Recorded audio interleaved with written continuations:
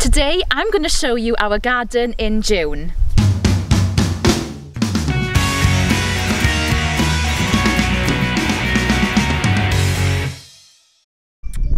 Shemai and I'm Angharad from Gwynyn Griffith and welcome back to our channel. Here we talk everything beekeeping, farming, countryside living and we do reviews as well. But today I'm going to give you a mid-June, it's the 13th of June 2020, a, a little sort of garden tour and an overview of what's been going on in the garden, what's been working and what hasn't been working. The last couple of months have been um, quite challenging in terms of the weather. We've had a prolonged, and seasonably hot and dry spring, followed by uh, a late May frost, which caught us out caught us out a bit, and some plants have had some uh, frost damage, which I'll go on to later on. And then we've had a lot of rain over the last two weeks, um, accompanied by a lot of strong wind and gusts, which has battered some of our sort of tender plants but um, but come with me and we'll have a little tour around the garden and I'll show you what we've been doing what our plans are uh, and uh, we'll go from there now it's been a busy year for us uh, in the garden in here what you'll see is a vegetable garden in the making however Easter last year Easter 2019 this was still the field uh, behind the house and none of this existed but uh, during Easter weekend last year we had a digger in to clear the whole site out we laid foundations for a brand new greenhouse which was erected last uh, last June so it's been up for a year now and then over the last year we've been gradually building more raised beds we still haven't finished this is an ongoing project and you'll see that some areas of the garden look quite tidy and finished whereas the area where I'm stood now is not finished, but it's a project, and I thought it would be nice to share this with you. So where I'm standing now, you can see that there's a slope um, going down into the garden, and it, tomorrow, in fact, Griffith, I've, I've persuaded Griffith to do this job tomorrow where we're going to be putting steps in here to make it more tidy coming down into the garden and then do it um, building sort of a wall uh, using the sleepers that we've got to give a definite uh, edge to the to the bank there and to tidy things up. And in the corner here, we've kept this here, this tree was here when we moved in. It's a beautiful old apple tree. Got no idea what the variety is, but it's absolutely bursting with apples. Um, every year this tree gives a fantastic crop. It is, however, um, needing extra support. Griff has had to build a support structure around the trunk there because it's quite rotten on the base. But uh, every year it's coming back and um, providing us with a lot of apples and they are beautiful apples too. So we're looking forward to harvesting them later on. So as we walk down here now, you will see that this area is sort of finished. Um, these new beds in the middle here are, um, are new beds which were um, put in um, during uh, the beginning of lockdown and I've already filled them up. The first bed is filled up with um, couple of roses and some dahlias. Now I've decided to put some roses in here in the middle of the vegetable garden because I'm walking down past here every day and I just love the smell of roses and be, being able to appreciate their scent where I pass all the time. So that's the reason why I've planted them uh, in the bed here.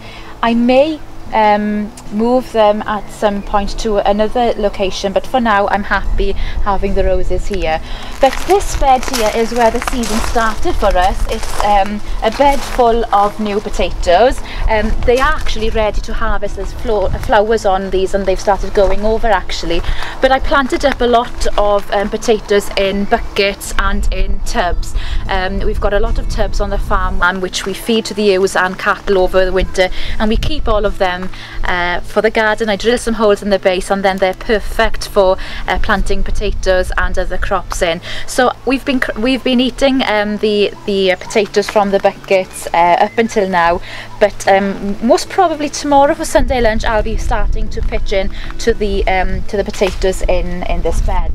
Over there then is a brand new bed which was built uh, last weekend in fact and most probably over the weekend now we'll be um, filling that in. Um, I think I might be planting some leeks in there um, along with some um, kale possibly and as the potatoes um, are harvested from this bed I'll be planting up some swede um, in, in the bed uh, for, for winter. Now over here then uh, we've got some chard um, and um, and some kale. It's not doing particularly well. Um, a combination of factors. I think cat is one of the reasons why the kale isn't um, coming up as well as it should. So we've got the cat coming into the garden, which is why I've placed that net over it. And um, yeah, the the the weather has been um, playing havoc with with the plants. In here, then we've got some uh, some carrots and some parsnips. I'm not sure what's gone on this year again with, with the germination of the carrots. It's been really hit or miss. I've got a, a, the first row here. I've only got two carrot plants that actually have germinated. I've replanted um, twice and I think I can see the signs of young plants actually starting to come through. So germination has been hasn't been excellent um, here this year. I'm not sure why, but um, this row is looking great and I need to actually thin these carrots now um, shortly. By the side of you there is the um, bed of um, rhubarb. Um, this is a new bed this year again. Um, last year we only had about four beds in the garden, so most of the beds here actually are new this year. So I planted this. I planted this bed up um, February March, and um, excuse all the slug holes in the leaves but the rhubarb is doing pretty well and um, I didn't harvest any of the um, of the uh, rhubarb last year uh, to give it energy to grow but I might harvest just a couple um, this year but I won't um, harvest it too hard. This bed here then we've got some blueberry bushes um, I've put a net over here um, because we've got a lot of blackbirds in the garden and um, yeah, I want to eat the blueberries, so I've, I've put that net over there to try and protect um, the blueberries. Uh, you'll see down the path here, it's not finished. Um, I've got the membrane up to this line here. The membrane then um, will continue up here and uh, we'll put some gravel on top then to make it easy and manageable Um, we've got two young children and um, having a garden which was easy to maintain and look after was really important to me. This area looks really messy at the moment. However, up in that corner there is where the compost bins will be um, uh, positioned. Um, it's a temporary location here at the moment. Um, but I'm going to relocate these up to the corner there. I may actually put sort of a slab or something underneath them to, to keep it more tidy. And then this will enable me then to have a, another sort of um, small bed here. Um, this actually is um, the shadiest part of the vegetable garden so I might plant up some um, lettuces and salads that are tolerant to shade so um, again you know this is a project it's an ongoing project it's not a, a, fight, a, a finished garden and then down here you'll see that we've got a, a, a big area here um, that's you know that needs developing at the moment the children's uh, mud kitchen is uh, taking place here but there's space here for uh, more beds um, which will happen over the course of next year so if you follow me down here now then in this bed if you were getting a new bed this year I planted up some um, some cabbages and some um, broccoli in them. I've got the net over them to try and protect them. So we'll see how that goes. We've got, got some salads, um, I've got a, a, tomato there with, um, I've got most of my tomatoes are in the in the greenhouse but I didn't have the heart to throw the seedlings I had left over in the compost bin. So what I've decided is I've planted a lot of tomatoes out and about, mostly in um, buckets and containers that I have. If they do uh, give us a crop, then fantastic. If not, well, I haven't lost anything. Um, they haven't cost me anything. We had these buckets anyway. Living on a farm, I've got access to plenty of um, uh, soil and rotten down manure. So you know, it hasn't cost me anything and I'm watering the beds anyway, so it's, it's not um, causing me any more work. So actually there are some flowers um, starting to set there and I can see on this plant here we've actually got some tomatoes starting to um, come through so we might have a, um, a little uh, crop of tomatoes from the tomatoes outdoors. here then got a bed of strawberries now we've had a really good crop of strawberries this year if you come close here you'll be able to see some of the lovely uh, strawberries um, which are probably ready to pick some of them and the boys apps oh look at the size of this one the boys are absolutely loving oh and little snail there so slug there as well the boys are absolutely loving uh, coming down to the garden every morning to harvest uh, the strawberries which is definitely a highlight for them now in the corner here I've got runner beans. Now I've had a bit of a disaster with runner beans this year. Um, first lot I planted out uh, beginning of May were uh, doing absolutely great but then we had that frost in the middle of May and I lost the lot. Every single plant died. So I sow more, I sow more seeds then. Um, I um, saved seeds from last year, so I have plenty in stock luckily. So um, this is the second attempt. Um, they're doing not too bad considering I only um, sowed the seeds in middle of May. Um, they, they sort of, they've caught up not too bad. They have been um, munched by um, uh, slugs and snails but I have applied nematodes um, uh, throughout the garden uh, last week so I think that's already starting to um, to sort of have effect because I haven't seen any more noticeable damage over the last week. Um, I do have some problem with um, bindweed in the garden. I can see another bindweed um, sort of climbing up here. So this is one of the things I've got to keep on top of. Um, so that's a bindweed there. Don't want them in your garden. So yeah, keep on top of weeds. Over here then I've got um, a French um, well nasturtiums in the front here uh, and then French climbing beans again Same happened with these. My first attempt got um, uh, severe frost damage and um, I lost the plants. Luckily I had spares in the, in the greenhouse so I brought them outside but they haven't really picked up that well yet. Um, they've, um, they're still a bit slow getting going but um, hopefully they, they will catch up. the bed here then we've got some broad beans I've got two different varieties the first um, variety you can see the flowers are going over now but it's a crimson um, red I haven't grown this variety before the flowers smelled absolutely gorgeous when they were in flower and um, I'm really looking forward to um, to tasting them. On the other broad bean variety then you can see the pods are forming if you come close you'll be able to see the pods um, starting to form so in a few weeks time we'll be able to harvest um, our first batch of broad beans I've got a, um, a little sort of row here then of peas um, and you can see the pods are uh, forming and um, no doubt that a lot of these will get eaten in the garden and won't even make it into the house so looking forward to, to eating them. In the beds here then we've got the arch, I've got a climbing variety of um, squash so haven't grown a climbing variety before so it's a bit of an experiment um, so we'll see how it goes. I've got some courgettes um, sort of on the floor around it as well um, as well as some sunflowers and um, a few corn. So this is a bit of an experiment, we'll see how it goes. And if you come round this side then you'll be able to see that we've got our first baby courgette um, which is probably actually ready for me to harvest and I'll, I'll probably harvest that um, today now over the weekend so looking forward to doing that. The bed then here beside me here is um, my onion bed. Um, I was quite late actually um, uh, planting the sets. Uh, I, I bought a, a net of sets um, uh, end of winter, early spring.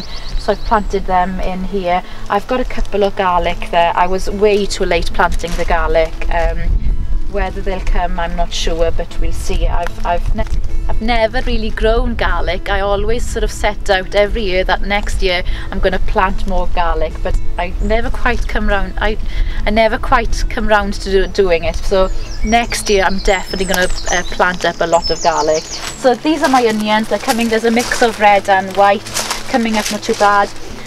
in the end here then is my corn as you can see they're not looking amazing um, again, these were hit quite bad with the, the late frost and um, I actually lost a few plants.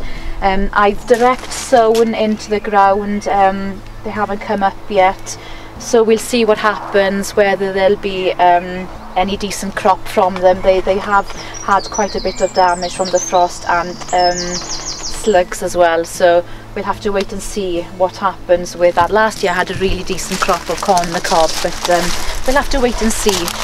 This bed here then is my herb. This has gone to seed, so I need to cut that back actually.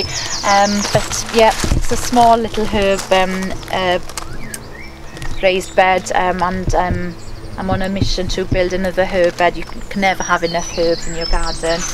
Dotted around here then, I've got a few dahlias um, coming up um, an old um, cast iron um, feeder.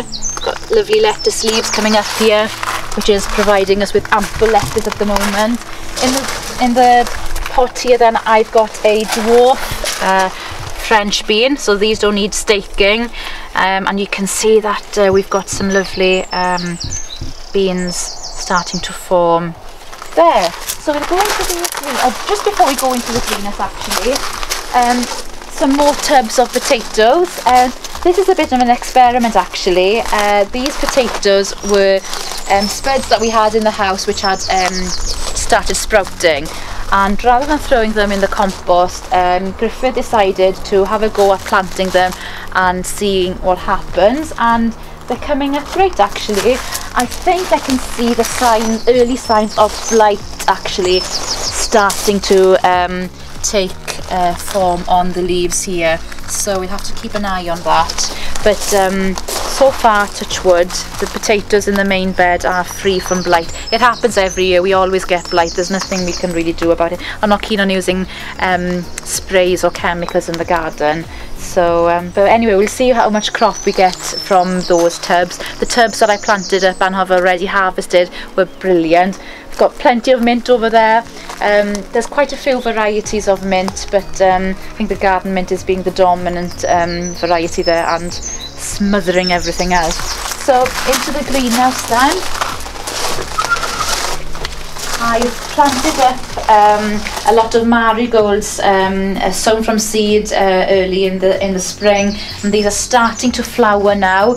Um, I'm planting these um, to help uh, deter uh, aphids um, with the tomatoes, and these tomatoes were grown from seed, and I've got the first fruit um, starting to appear there. I've also got some lettuces in between which are sown early in the year um, but moving forward now I won't be planting any more lettuces in the greenhouse because obviously it'll get too hot and they'll bolt but um, these were planted in for an early crop of lettuce um, along with um,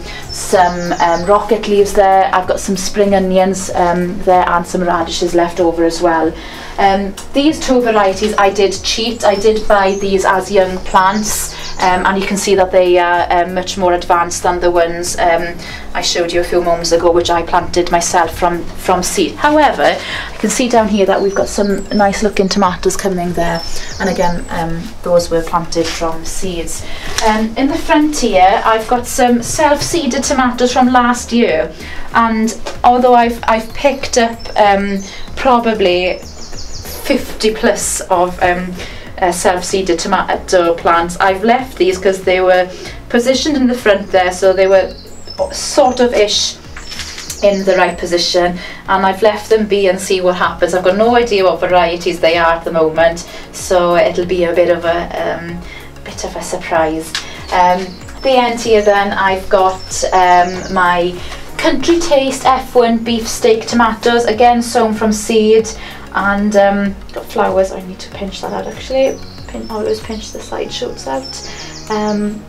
starting to uh, come to flower now.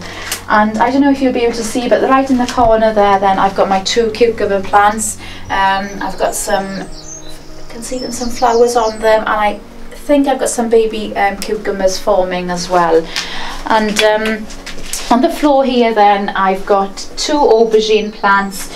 Now after um, reading up a lot about aubergine plants, uh, I think I've come to the conclusion that I sow my seeds way too late in the season and it's probably unlikely that I get any um, aubergines this year.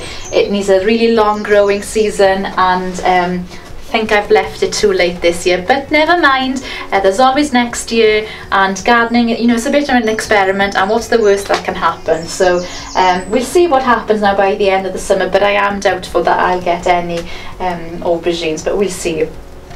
In here then we've got a mix of chilies and um, and sweet peppers. Uh, this particular variety over here is the um, sweet pepper orange variety which I planted uh, from seed and I don't know why, but that variety is absolutely miles ahead of the rest of them, even though they were planted at around the same time. And I've even got some uh, small flowers uh, appearing there, which is a great sign. And then on the end there, I've never grown them before, but I've got two cucamelon plants uh, starting to climb up the trellis, and I'm super excited to being able to taste those later on in the year. And it was in containers and um, trays that you've got about the place. I've planted up uh, a mixed salad uh, variety in there, which will be um, great for adding a, a different taste to your salad in the kitchen. So two lovely dahlias here, Big Daddies, which I bought actually from the nursery where we bought it, uh, the, uh, the greenhouse and um, yeah, absolutely in love with, with uh, the two Big Daddies. So that's it really for the June garden tour. You know, the garden is very much work in progress and um, there's a lot to be done. Um, you know, as I mentioned, the steps and the more beds, but it's getting there and we're still get and we're getting a decent amount of food out of the area that we've created here. So um, why not join me again maybe in a month or two where I can show you the progress. Hopefully the steps will be in by then and more beds and we'll be, we'll be able to see then what we've uh, managed to harvest from the garden. But for now, thank you very much for watching. I hope you've enjoyed our little garden tour here at uh, Gwenyn Griffith and uh, we'll see you again soon.